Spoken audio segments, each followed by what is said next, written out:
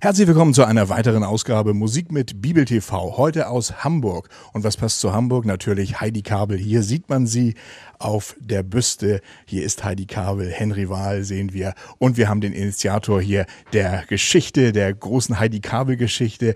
Äh, die Idee hatte Herr Rötting. Ich grüße Sie ganz herzlich. Herzlich willkommen.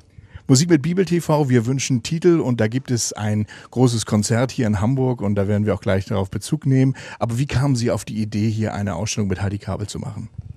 Ja, Heidi Kabel hatte uns vor 20 Jahren angeraten, eine äh, Sammlung aufzubauen. Und heute ist also der erste Todestag von Heidi Kabel und insofern haben wir uns gesagt, wir machen da mal eine Sonderausstellung draus. Und wir haben tolle Bilder gesammelt und die werden wir unseren Fernsehzuschauern jetzt auch gleich zeigen mit musikalischen Grüßen. Denn ich persönlich habe ja auch mit Heidi Kabel gesungen und da gibt es ja auch einige Bilder zu, die Sie hier mit ausgestellt haben. Aber Sie dürfen auch jemanden grüßen in unserer Sendung. Wen möchten Sie denn grüßen? Ich grüße das gesamte Publikum und die Fans von Heidi Kabel und dem Ohnsorg-Theater. Und musikalisch haben wir auch was mit Heidi Kabel vorbereitet. Erinnerungen an Heidi Kabel. Hier sehen Sie die schönsten Bilder. Bitteschön.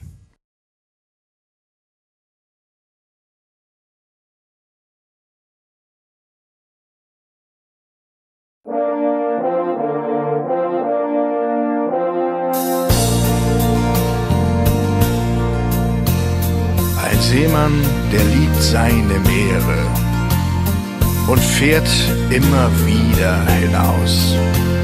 Wenn das einmal nicht mehr so wäre, dann wär's mit der Seefahrt wohl aus.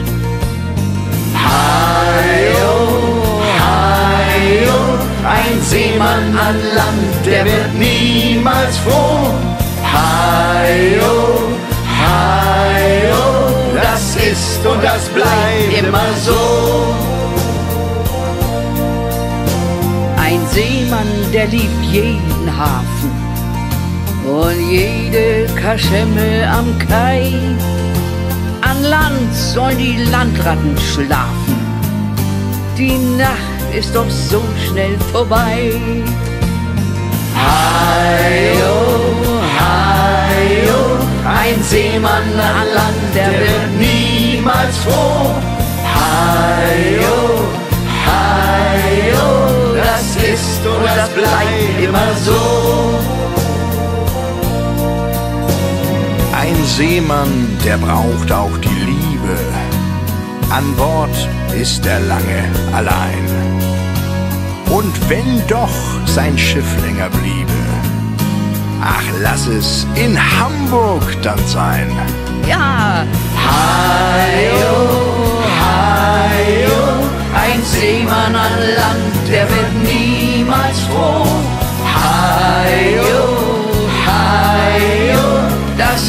und das bleibt immer so.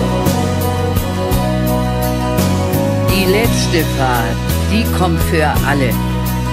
Für einen Seemann, für dich und für mich. Für einen Seemann gilt in jedem Falle. An Land sein, das will er dann nicht.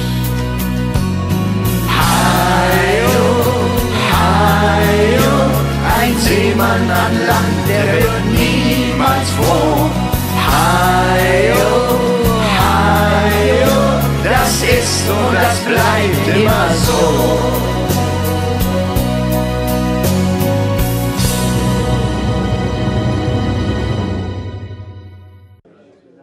Jetzt habe ich hier die Starfotografin von Heidi Kabel, Marion Schröder, auch schon bei mir in der Sendung gewesen. Du schreibst für viele Blätter, neue Blatt, neue Post, was es da alles gibt. Und seit 78 begleitest du Heidi Kabel. Ja, journalistisch und fotografisch. Und wir sind natürlich dann auch befreundet gewesen im Laufe der Zeit. Du hast sie seit 78 begleitet auf vielen Touren. Was ist dir besonders aufgefallen an Heidi Kabel? Warum war sie so ein besonderer Mensch? Als Schauspielerin ja sowieso, aber als Mensch war sie besonders. Weil sie auch immer an sich sehr zurückgenommen hat und immer an andere gedacht hat. An immer an andere. Wir waren zum Beispiel in Kochel zusammen, äh, als sie Heidi und Ernie gedreht hat. Und da war ein Wochenende. Und dann hat sie gesagt, was ist hier mit den Blumen? Wer gießt die Blumen? Oder wer, da war ein Koch, der hatte Hunde dabei. Haben die auch Futter und so. Also sie war immer, sie hat immer an andere gedacht. Und abgesehen davon, dass sie eine tolle Schauspielerin und, und toller Mensch war, also hat sie, das fand ich immer ganz prima. Ne? Jetzt haben wir demnächst wieder den Gospeltag. Du warst im letzten Jahr auch dabei. Am 22. Januar ist es wieder soweit. Dann heißt es Gospeltag in Hamburg. Viele Gäste sind dabei. Gottfried Böttger wird dabei sein, aber auch tolle Afro-Chöre, die sozusagen Gospel zum Besten geben. Aber es wird auch Katie Kelly dabei sein. Und da bist du ein besonderer Fan zu, hast auch eine Beziehung auch seit 1978, als die das erste Mal in Hamburg waren mit den Bussen, in, in diesem kalten Winter, 78, 79, äh, habe ich sie zum ersten Mal fotografiert mit der Familie und seitdem ähm, sind wir eigentlich befreundet und ich habe ganz, ganz viele Fotos auch von früher noch mit der Mutter und da bin ich ganz stolz drauf, dass ich die noch im Archiv habe und auch noch mit vielen von der Kelly-Familie befreundet bin und wir, wenn wir uns sehen, freuen wir uns sehr, dass wir uns treffen. Dann spielen wir jetzt einen Gospeltitel vom Gospeltag vom letzten Jahr und äh, du darfst noch jemanden grüßen. Ich grüße Tina Benz. Das ist eine Freundin von mir und eine Sängerin, eine Mezzosopranistin, die in Eutin lebt und mit der ich ab und zu zusammenarbeite und eine ganz tolle Sängerin ist. Kann ich bestätigen, nichts mehr zu hinzuzufügen und Musik ab. Ja, hier sieht man die Bilder, meine Damen und Herren. Die, ich sehe nicht dreifach jetzt, meine Damen und Herren, sondern die drei sind Drillinge, richtig, ne? Nein, das ist nicht richtig. Meine Schwestern sind Zwillinge. Ich habe den Platz für mich allein beansprucht. Und die Dame kennen Sie sicherlich, wenn Sie die Bilder sehen. Die Herma Köhn am längsten beim Ohnsorg-Theater von dem Dreiergespann. Seit 68, glaube ich. Seit 1968. 1967 im November habe ich ein Stück dort gespielt. Da war ich Schauspielschülerin und als Gast am Ohnsorg-Theater. Und dann sagte Hans Mahler zu mir, wenn Sie fertig sind mit Ihrer Ausbildung, dann kommen Sie doch mal wieder. Und das habe ich gerne getan und bin bis 2000 auch im festen Ensemble gewesen. Seitdem bin ich frei und äh, als Gast kehre ich aber immer wieder gern ans Ohnsorg-Theater zurück. Man kennt sie von den vielen, vielen Stücken, die sie gespielt haben auf Hochdeutsch und Plattdeutsch. Äh, wie viele Stücke waren es in etwa? Oh, Ungefähr. Ich bin nicht so ein Mitzähler, aber es müssen weit über 100 gewesen sein. So 120 schätze ich mal, werden es wohl sein. Und Ihre beiden Schwestern haben auch gespielt. Wie viele Mal waren Sie dabei? Ja, ich war nur zweimal dabei. Ship up Strand und in dem Musical vom Fischer und seiner Frau. Da haben wir allerdings alle drei zusammen gespielt. Also mein Mann war auch noch dabei. Das war die ganze Familie auf der Bühne. Und Sie haben sozusagen auch natürlich am Unser Theater gespielt. Wie viele Mal waren Sie dabei? Ich würde schätzen vier bis fünf Mal. Welche Stücke waren das? Auch im Fischer und seiner Frau, dann auch bei Schipp ob Strand und äh, das Weihnachtsmärchen Prinzessin auf der Erbse. Dann das, was, das Einzige, was Helga Vettersen auch gespielt hat, der möblierte Herr, da war ich dabei und Lünken sind Oakmenschen. Wunderbar, das ist ganz toll. Ja, die Dreierköm, kann man sagen. Ja, das ist so. Wir sind drei Schwestern und wir verstehen uns sehr gut und dann sind wir auch gerne zu dritt unterwegs in Hamburgs Theatern. Jetzt etwas Persönliches zu Heidi Kabel. Was war die besondere Anekdote, die Sie mit Heidi Kabel erlebt haben? Anekdote fällt mir so furchtbar schnell jetzt gar nichts zu. Ich habe viele schöne Rollen an ihrer Seite gespielt. Nachdem ihre Tochter das Theater verlassen hatte, rückte ich so auf in die äh, Position der Töchter- und Schwiegertöchterspielerin. Und ich habe mit großer Freude mit ihr gespielt und sie hat mir auch sehr viel Sympathie entgegengebracht. Und daran erinnere ich mich sehr, sehr gern. Was war das Besondere bei Ihnen? Haben Sie ein besonderes Erlebnis gehabt mit Heidi Kabel? Nein, leider nicht, weil sie in den beiden Stücken gar nicht mitgespielt gespielt hat, in denen ich nun dabei war. Persönlich kennengelernt haben Sie sie natürlich, das ist ganz klar. Und was war das Besondere bei ihr? Was fanden Sie so das besonders Mütterliche oder was kam besonders gut rüber? Herzlich, sehr, sehr herzlich, warm, äh, warme Ausstrahlung, sehr diszipliniert, immer freundlich. Ja, also Anekdoten eigentlich nicht. Die passten auch irgendwie gar nicht zu ihr. Genau, jetzt kommen unsere sie war kein Mensch so für privat für Anekdoten. Sie war zurückgenommen, sie war Dame. Eine ganz persönliche, wunderschöne Erinnerung habe ich an sie, als meine Enkelin geboren wurde. Und sie hat ja fünf Enkelsöhne. Und sie war also ganz entzückt, als ich sage, Heidi, ich bin Großmutter geworden, ich habe eine Enkeltochter. Oh Herr, wie schön, ein Mädchen komm, kauf ihr ein Kleidchen von mir. Das ist schön. Dann danke ich Ihnen recht herzlich. Viel Spaß noch bei der Ausstellung. Äh, Sie hören Musik mit Bibel TV und wir haben jetzt für Sie noch einen musikalischen Titel, einen Gospel-Song. Hier kommt was von Bill Gator. Ja, zwei Tagesschau, Gesichter, die das deutsche Publikum kennt. Dagmar Berghoff, herzlich willkommen. Dankeschön. Und Willem Wieben, herzlich willkommen. Dankeschön, danke. Wie gefällt euch die Ausstellung? Also ich finde es erstmal fantastisch, dass sich Menschen bereit finden, Fans wahrscheinlich, ehemalige ganz normale Fans, die dann angefangen haben zu sammeln und wirklich akribisch zusammengefügt haben hier. Es gibt ja auch noch äh, Garderobe von ihr zu sehen aus Stücken. ganz viel aus ihrem Leben. Also ich bewundere das sehr. Es ist, glaube ich, sogar schon zum zweiten Mal, auch im letzten Jahr fand es, glaube ich, statt. Also zum zweiten Mal, dass diese große Ausstellung stattfindet und sie gibt einen guten Überblick. Was sind die Eindrücke, lieber Willem Wieben, von Ihnen? Naja, das, äh, was hier mich so dankbar stimmt, ist, dass das, was hier gesammelt ist, natürlich in mir wieder viele Erinnerungen weckt.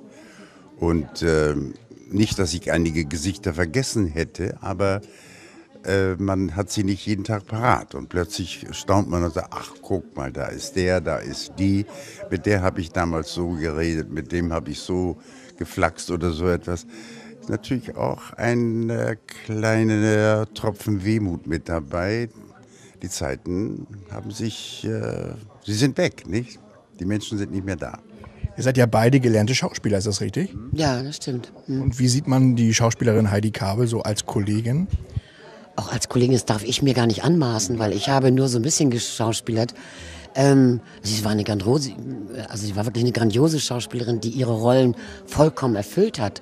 Wenn sie da auf der Bühne war, dann war das ein Mensch und nicht eine Rolle. Also sie war einfach fantastisch. Die schönste Anekdote, die du erlebt hast mit Heidi Kabel? Gibt es da eine, so aus dem Stehgraf, wo du sagst, das fand ich ganz besonders beeindruckend? Also ich fand beeindruckend, wir haben ja jedes Jahr Silvester mit Friedhelm Mönter zusammen Silvester äh, gesendet, von 8 Uhr abends bis 1 Uhr nachts. Und Heidi, da war sie schon nicht mehr am Theater, äh, kam. Und kam nicht normal, sondern kam in einem Abendkleid, weil es war doch Silvester. Und richtig hochgestylt und schick aufgemacht saßen wir da und wir waren auch ganz nett angezogen. Aber sie im schicken Abendkleid, das fand ich so grandios. Das war toll. Gibt es eine Anekdote bei Ihnen, Herr Wieben? Anekdoten habe ich nicht, äh, was Heidi Kabel betrifft. Ich habe sie immer nur gern getroffen, sie mich offenbar auch.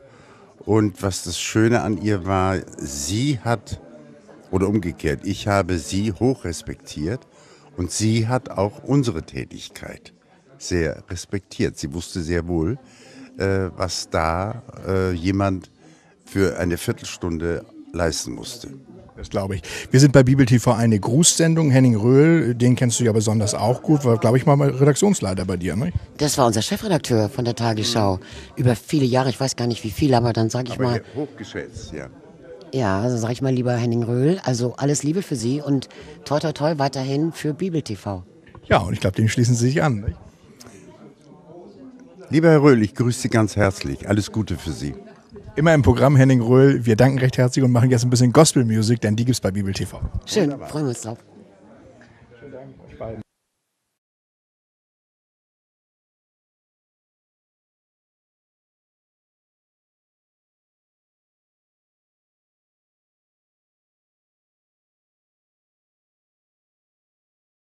Ja, und wir haben uns noch einmal kurz hier vor Heidi Kabel sozusagen verneigt, die Büste hier zu sehen. Wer hat die eigentlich kreiert?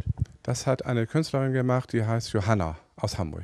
Und die kennen Sie auch schon ein bisschen näher? Die kennen wir sehr gut und sie war gleich bereit, ähm, für die sehbehinderten Menschen diese beiden Büsten anzufertigen.